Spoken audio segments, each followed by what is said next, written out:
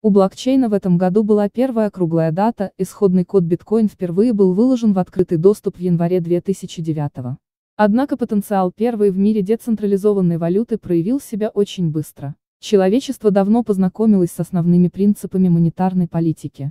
Что нельзя просто так чеканить монеты, знали еще римские императоры, но даже в 21 веке многие страны не в силах расстаться с печатным станком, высокая инфляция калечит экономику Аргентины, гиперинфляция в Венесуэле уже привела к голоду.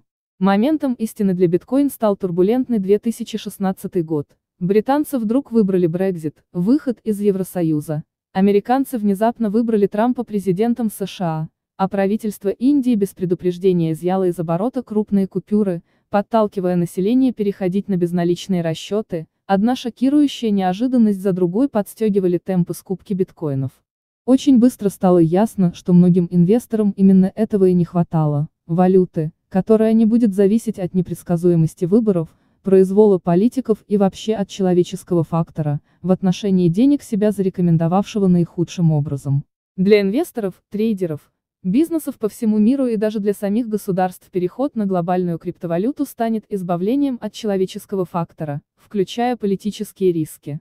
Еще судьбоноснее для мировой финансовой системы может стать блокчейн-технология как таковая с каждым днем все сильнее ощущается потребность в удобном, простом, но надежном средстве онлайн-платежей. Профессионалы игровой индустрии, индустрии цифровых товаров и подписок считают, что упускают до 90% потенциальной выручки из-за тяжеловесности и неудобства современных способов онлайн-платежей. Полный текст читайте на сайте cryptofans.ru, ссылка на новость доступна в тексте под видео.